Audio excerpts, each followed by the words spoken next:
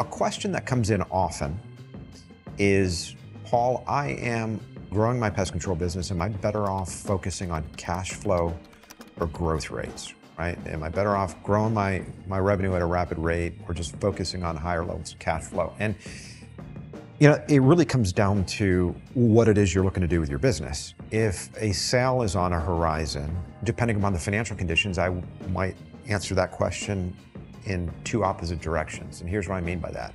As interest rates go up and financial conditions get tighter, there's a greater focus on the immediacy of cash flow. So we talk about this as, as almost duration risk. If you pull up on uh, Google Finance and you look at how sectors are performing as financial conditions have gotten tighter over the last year, the sectors that have led the nosedive have really been tech, right? And we call tech stocks long duration stocks because they're not generating a ton of cash flow now, but they're growth stocks and people invest in them because they've got high growth rates and we expect to have significant cash flow at some point off in the future. So we call those long duration stocks. And when financial conditions are loose and interest rates are suppressed and low, the capital markets tends to pull financial returns from the future into the present.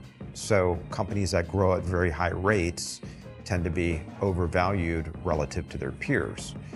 That happens in resi services as well, with HVAC businesses and pest control businesses. So we've seen a, a focus in recent years, as interest rates have been suppressed, on growth rates, more so than absolute percentages of, of, of profitability. As interest rates go up, the reverse happens. We are now taking the financial returns that we've pulled into the present and we're pushing them back out into the future. So there's more of a focus on the immediacy of cash flow hitting the P&L today. So if you're thinking about a sale, the best thing that you could probably do for yourself is slow down the top line growth rates, focus more and more on the immediacy of cash flow and increase the level of profitability in your business. I think whether it's lawn care or pest control or garage doors or solar or any of these businesses that use door to door, you know, door to door for me, at least internally, is always a great bellwether or a reference point for duration with regard to these residential service financial assets. And what I mean by that is door to door by its very nature, you're spending a lot of money today, right? You're paying sales guys to go out, knock on doors. You're putting on unprofitable revenue, which is effectively what you do when you're doing door to door because you're saying, hey, I'm going to put on these accounts, I'm going to have higher attrition rates, I got to pay big commissions. But at the end of the day, a year or two, three years from now, I hope to retain a good chunk of those. They'll be very dense and they'll be kicking off cash flow.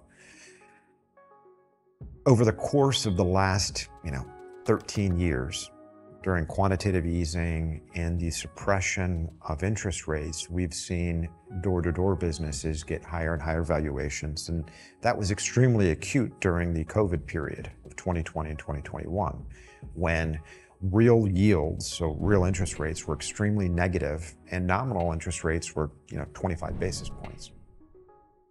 That has kicked into reverse at a dramatic clip here in 2022. So in my mind, a lot of these door-to-door businesses that are effectively long duration stocks tend to act in a lot of ways like technology companies do. The price increases dramatically when interest rates are suppressed and when the reverse happens, we start to see those valuations fall off very, very quickly. I think as we get into Q1 and Q2 of 2023, we'll be able to see those duration impacts on resi services businesses.